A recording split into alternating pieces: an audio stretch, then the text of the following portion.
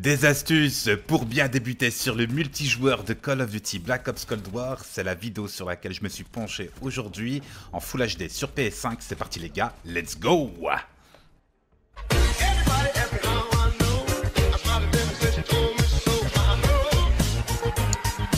Salut à tous les amis, c'est Grody et bienvenue aujourd'hui les gars sur une toute nouvelle vidéo sur Call of Duty Black Ops Cold War une somme d'astuces pour bien débuter et avoir une expérience de jeu optimale sur le multijoueur, bien entendu.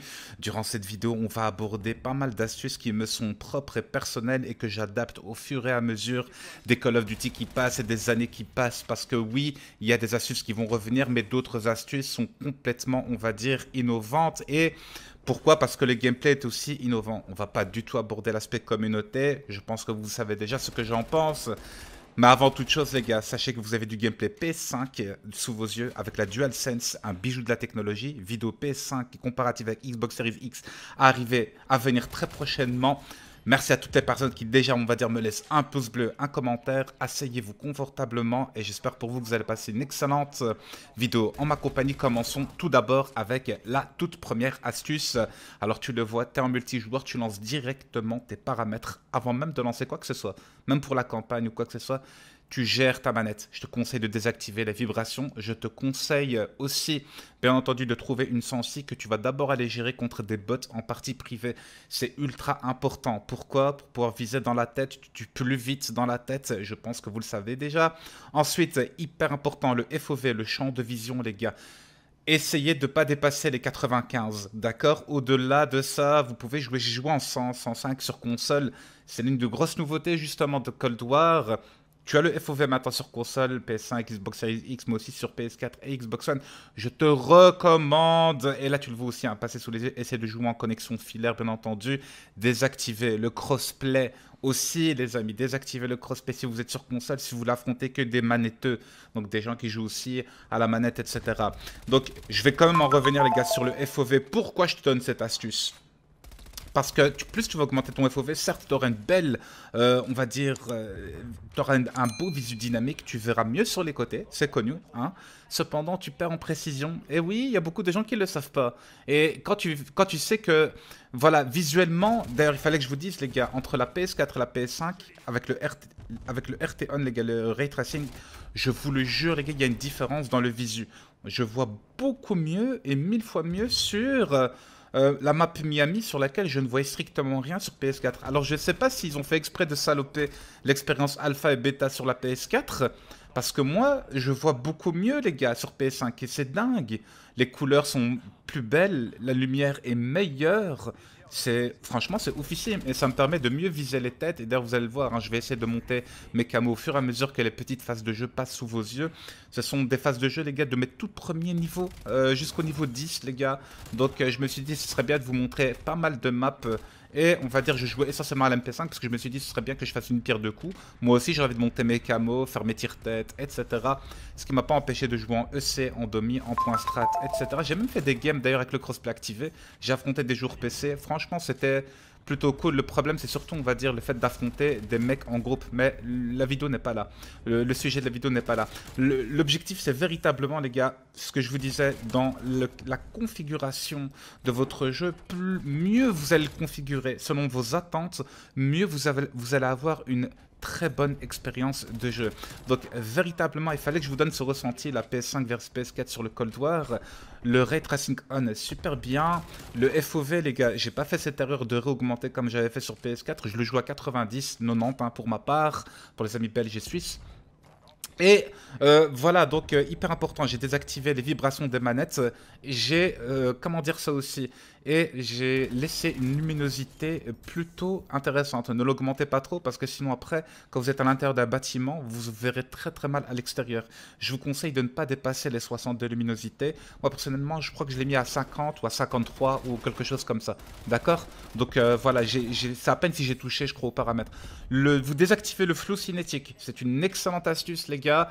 D'ailleurs, c'est un abonné à moi qui me l'avait dit. Je pense que c'est le poteau Zachmo. Dédicace à toi, Zachmo, si jamais tu regardes cette vidéo. Très très bonne euh, idée. Donc euh, le flou cinétique, pour ceux qui ne savent pas, c'est une sorte de flou de mouvement qui se génère quand tu cours. Et vu que moi je suis un joueur de type plutôt, on va dire aggro, de type euh, énervé, etc. Même si pour le moment, on va dire en ce début de jeu, c'est compliqué de jouer aggro et énervé, pour être franc avec vous. Bah voilà, le flou cinétique, je, tu le désactive. Et ça, et ça fait que je vois beaucoup mieux. Donc désactivez-le, vraiment c'est bien foutu. D'ailleurs l'affichage est vraiment très très propre et clean les gars. Pour le moment ça, il fallait que je vous le dise sur le jeu. Pour les strikes que les séries de points, on voit super bien par rapport à la bêta, c'est dingue et je m'attendais pas à ça honnêtement. Ensuite, qu'est-ce que j'avais à vous dire les gars? Super important. Avant aussi de commencer à bien jouer, si vous êtes sur PS5, et Xbox Series X. Et comme tu le vois là maintenant, bah voilà, c'est une nouvelle astuce, comme je vous ai déjà dit, et que vous jouez sur un écran, les gars, 144 Hz ou 120 Hz ou 165 Hz, activez vos FPS. Alors, je vais te mettre le clip justement sous les yeux quand tu vas pour lancer le jeu sur la PlayStation 5, fais attention à ne pas à lancer euh, la version PS4. Lance la version PS5 parce que c'est un bug actuellement, on va dire, pour le jeu sur le jeu. Tu dois lancer la version PS5 parce que ça télécharge notamment le. moi, j'ai reçu le pack euh, cross-gen, donc PS4 et PS5, et c'est la version PS4 qui se lance automatiquement. Non, activez la version PS5. Vous allez véritablement euh, voir la différence. Donc, comme je vous ai expliqué notamment dans le dynamisme, la beauté du jeu, la fluidité, c'est vraiment hyper intéressant.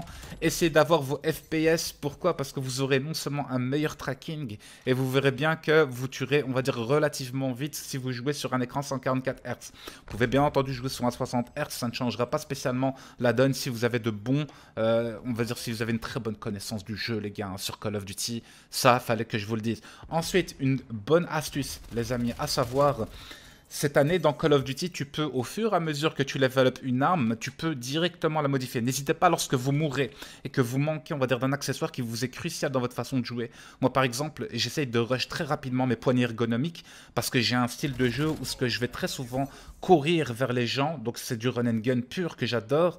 Et je vais justement utiliser cette poignée ergo. Dès que je la débloque, je meurs, boom, start. Je vais sur ma classe, triangle, modifié, je mets l'accessoire en question.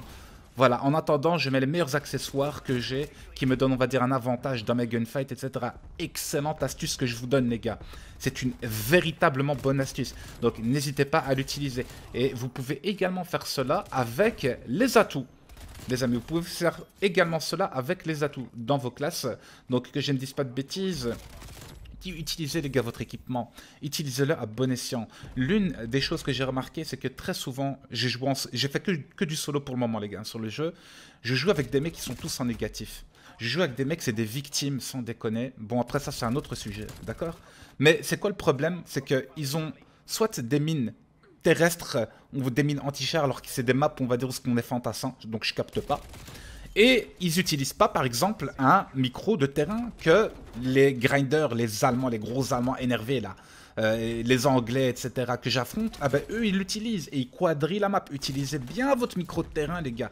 Placez-le à un endroit qui est difficile, non seulement, on va dire, pour l'adversaire à repérer, mais qui permet aussi d'anticiper les venues des adversaires. Ça, c'est une très très bonne astuce pour bien débuter, parce que vous allez voir, les gars, le jeu se joue essentiellement avec cela. Donc, il n'y a pas de VSAT, il n'y a pas de microstation orbitale c'est quelque chose qui fait en sorte que les adversaires seront tout le temps où vous êtes, même si vous avancez accroupi. J'ai vu des mecs, les gars, j'ai fait une FFA, une mêlée générale. Les mecs, ils avancent accroupis parce qu'ils ont peur du micro de terrain. Ça, c'est un truc de fou. Donc, l'atout ninja, je pense qu'on les débloque quand même vers la fin euh, du premier du prestige. Donc c'est vous dire, les gars, le temps qu'il vous faudra grind sans l'atout ninja pour contrer ce micro de terrain. Je trouve même que c'est un peu OP, mais on XP relativement vite. D'ailleurs, la prochaine vidéo arrive très très prochainement. Ça sera justement arrivé sur l'XP.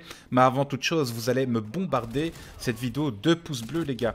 Ça, c'est des astuces que je vous ai données, les gars, qui sont véritablement intéressantes pour bien débuter ne négligez pas une petite game, les gars, avant d'aller en multijoueur ou de même ou ce que vous faites du only headshot. Faites de l'entraînement, vous allez dans partie personnalisée contre des bots only tire-tête les gars et vous me remercierez plus tard. D'accord? Donc ça, ça fait partie de mes astuces pour bien débuter euh, votre aventure en multijoueur sur Call of Duty Black Ops Cold War. C'est tout ce que j'avais à vous dire les amis. Pour le moment, on arrive très prochainement justement dans, euh, comment dire ça, à la fin de la vidéo, je vais vous proposer prochainement la campagne solo en une traite, donc sur YouTube, mais également une vidéo pour XP rapidement, j'en suis sûr et certain que ça va vous intéresser. Merci à toutes les personnes qui me laissent un pouce bleu, un commentaire et qui me soutiennent tant sur YouTube que sur Twitch, car je vous le rappelle, je suis streamer, c'était Grony, merci à toutes et à tous, portez-vous bien, ciao les gars, à plus, bye bye